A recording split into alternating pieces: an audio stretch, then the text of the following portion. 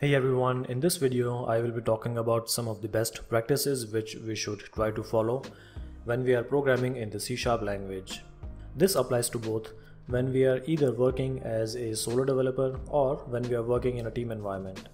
So I have a number of best practices which I want to talk about but before I do that I want to say that this is going to be a series of videos rather than a full-fledged video because it is not really possible for me to talk about all of the best practices and not have the video pretty long. So for this reason I have decided to keep the videos short so that they are easier to watch and understand. Alright so now let's move on to the best practices which I will be talking about for this video. The first one is child class fields should not hide parent class fields. And to explain this, I am going to show you a code example. Over here, there are two classes. First one is the person class and second one is the employee class. Now, the employee class is inheriting the functionality of the person class. And the person class basically contains two properties the first name and last name. And then there is a constructor which is accepting the values of these public properties. And then there is a method which is get full name which is essentially returning the full name by concatenating the first name and last name. Now employee 2 has the same get full name method but with the same signature so the compiler is throwing a warning that this get full name is hiding the get full name method of the person class or of the parent class. Now this is not advisable because often the parent class field makes more sense in a broader context than to create a field with the same name in the child class. So hiding the field or method of the parent class may have unintended consequences when we are talking about the entire project. It could also be possible that the parent class field might have values which are essential for the proper functioning of other methods too the parent class field may have references at multiple places in the current project.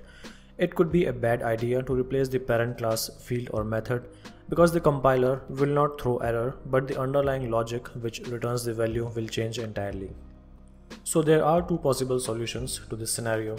The first one is we add the new keyword to this method and hide the base get full name entirely and the second one is to create the base method as a virtual and then override it in the child class. The second method has the advantage that we will be able to call the base get full name as well as the child get full name as and when we want it at our leisure.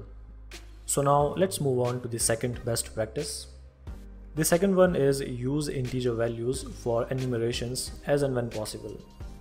So integer values makes it possible to use the enums even when they are not accessible by the code which is using the values. The examples include but are not limited to integrating multiple systems and using the values in a different namespace or using them in a database etc. Now in this example, the weekdays enumeration has integer values assigned to the named constants which makes it easier to store these weekdays in a database and then subsequently fetch the values to show them on the UI or to use them for any other business logic which we have in our project. Also when the enums have a large number of constants, it becomes pretty easier to manage them when we have incrementing integer values. All we have to do is keep on adding new constants and then assign incrementing values to the new members.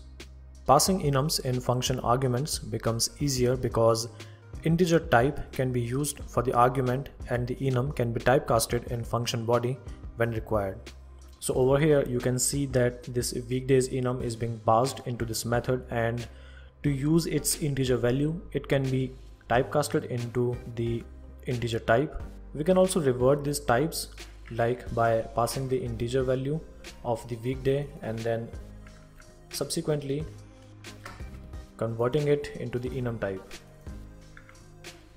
So it is pretty handy for different kinds of situations when we are working in a big project. Also passing enumeration values from server to client scripts becomes much easier when there are only numbers to deal with. Things become much more complicated when there are strings which are sent to the client scripts to identify individual enumeration members instead of integer values which can be assigned directly to the list items too. The third and last one for this video is frequently used regions for code which belongs to identical category. It goes without saying that regions are one of the best ways to organize code logic and it is always a good choice to group methods into regions because it makes it easier to navigate code files with hundreds of lines of programming logic. In this example, you can see that there is a large number of code lines which we have to traverse to find a single piece of code which we want to change or fix. But because there are regions, what we can do is we can collapse the regions and then let's say that our code belongs to the micro transaction functions it means that we don't have to be concerned about these other four regions and we can simply go directly and expand this region and then find any line which we are looking for. Regions can also be used inside functions or methods to indicate a specific roles and usage of an interconnected piece of code.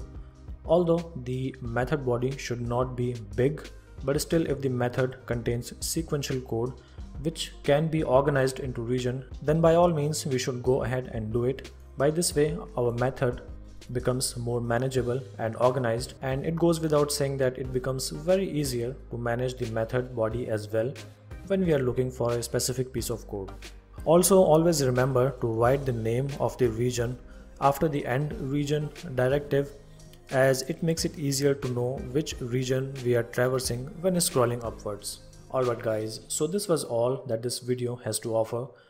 I will be back with more videos of this series so that you guys can learn about more such kind of best practices. If you have any questions or concerns or any suggestions, then feel free to reach out to me in the comments area. Also, if you like this video, then please don't be shy and like and comment on this video and don't forget to subscribe to this channel too if you want to be the first to know when new videos come out. I will see you in the next one. Till then, have a great day.